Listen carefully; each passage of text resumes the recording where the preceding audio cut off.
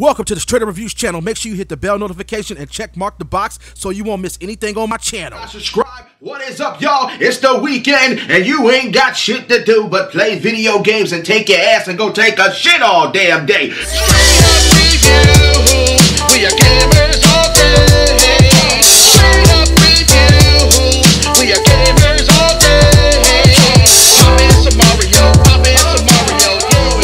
It's your Straight Up Reviews, baby. Back at it again with a straight, magnificent Friday. Make sure you guys leave me some rates, some comments, and also to the new people on this channel, make sure you guys subscribe. We got Ni no Kuni Part 2, and it's finally, finally here. You guys already know that my fat ass do it the best on YouTube with these great gaming unboxings. Nobody can do it better than me. Ni no Kuni 2 Revenant Kingdom is finally, finally here, and we all got accustomed to the very, very, very first Ni no Kuni that got released on PlayStation 3. To the day one edition, it comes with a special sword set, including all sorts of things out here. I think it only includes a, a sword set because that's all it's saying. It's about to go down because on this page we ain't having no sad face frowns. It says right there, it says rediscover another world on Ni no Kuni, Revenant Kingdom. Don't you guys already know? It's already looking glorious and sexy right there. It says, ah, inspiring animated adventures. And right here it says all action battles. Woo!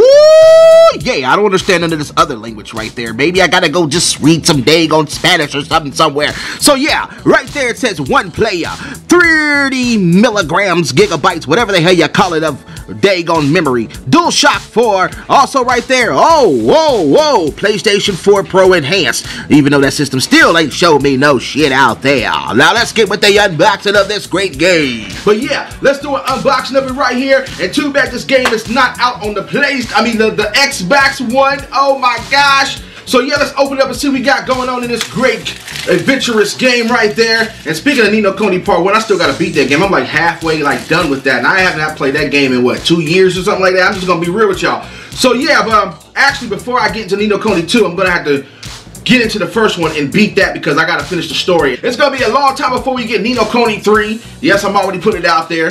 And uh, let's see, open it up and see what we got going on up here. Oh, okay, I got a bunch of cool swords and I'm loving the artwork as you guys can see that I'm about to show you guys. And you see the artwork of this great Ni no Kuni 2 game disc. So yeah, let's see what we got going on right here, y'all. Okay, let's see. As you guys already know, here's the day one edition uh, sword set right there. We got E3 getting ready to come out, so you guys already know they about to announce a whole slew of great, magnificent games. So yeah, I'm gonna show you guys the disc to Ni no Kuni again right there. There is the disc right here. Makes you want to re reach into the screen and grab this game. And I'm pretty, pretty sure that a lot of you guys love, you know, um, um, you know, RPG games with a great, great story as well. Still waiting on the Final Fantasy VII re remake. Still waiting on Kingdom Hearts 3. Great, comment, subscribe, and thank y'all for checking out my unboxing of Ni no Kuni 2 Revenant Kingdom.